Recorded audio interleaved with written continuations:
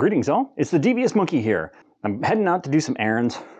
I'm inside and I still have this ND filter on here, so it might look a little bit wonky. But I just wanted to show you how I have this RS set up. And as a side note, I found that yesterday recording with this, as I was going all over the place and Pleasure House Point and all that kind of stuff, it was cutting off the end of what I was saying and doing.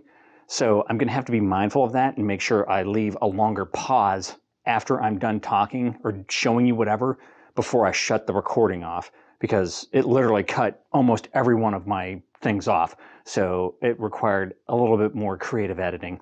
But I'm going to show you in the magic mirror here what we got going on. Um, I don't know how close I can get. You can't really see it, figures. But all right, take a look see here. So here I have the uh, this power grip. It's a Ulanzi BG3, I think a 10,000 milliamp power grip. I have this, the ZDO tripod feet on there, and then I have a Ulanzi ball head that I have mounted to this grip. And then I just use the Insta 360 USB-C cable that came with it. And then of course I have it mounted on a like a Peak Design plate into the normal GoPro type thing. And then I'm using the Rode Wireless Go 2 for audio, and I have that audio adapter in there. So I can power up through the bottom perfectly from the grip and then have the audio play. Ooh, the audio came off. So the audio is probably going to sound like shit too because that popped out and I didn't notice it, but whatever.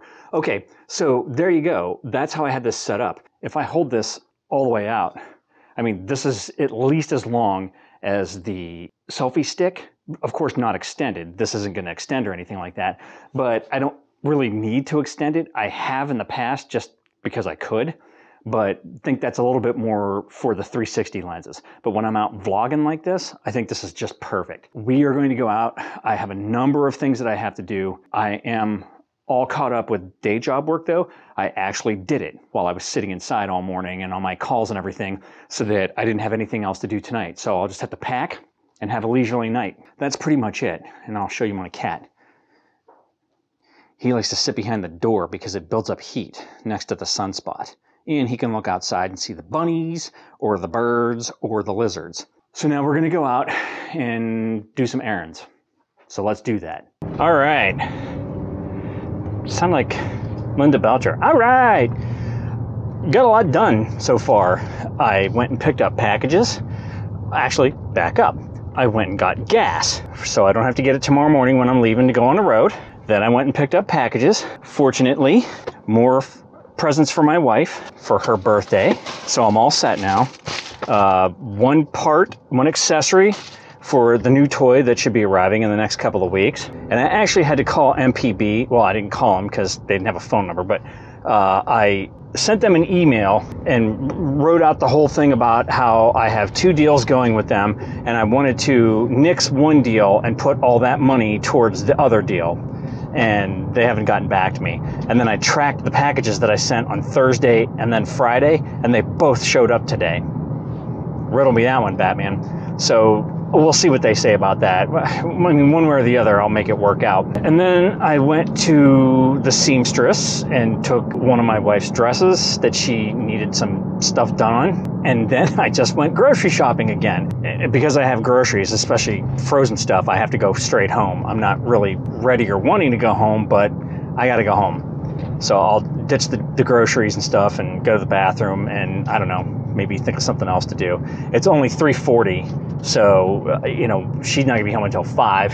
And again, I, I did all my day job stuff for the day, so I'm good to go. It's just been a low key day, like typical Monday. You know, all morning is calls and and sitting around doing shit in between calls, and that's that. I am going to now sprint to the bathroom and then unpack the groceries. I just do not feel well. Oh, the bitch of it is, is that I want to go to sleep, but if I take a nap, I will wake up, I will feel 10 times worse, and then I won't be able to go to sleep tonight. Hello, kids. I thought I'd give you a new perspective. Why? Because I feel like shit, that's why. I had a horrible, horrible night's sleep. I woke up at 2 and I was awake for a while. Then I woke up again at 4 and I was awake for a while. And then I got up this morning when she got up which was way earlier than I needed to get up, and I have been dragging ass all day long. And I went out and did all those errands and got all that shit done. I'm trying to force myself not to nap because at this point it's 25 to 5.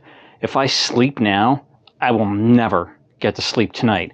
And then I'll have to drive all freaking day tomorrow and be exhausted like that. So that's not going to happen. I'm not going to nap. Plus, as I've already whined before, I always feel like shit after I nap anyway, so I don't really think it's going to help me much.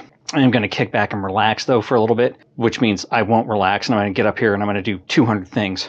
I'm not going to blather on for the sake of talking. There's no point. You're just going to get a really short, crappy video today. Uh, with you know me going and running some errands and then me laying on the floor moaning about how I feel like crap. So that's it.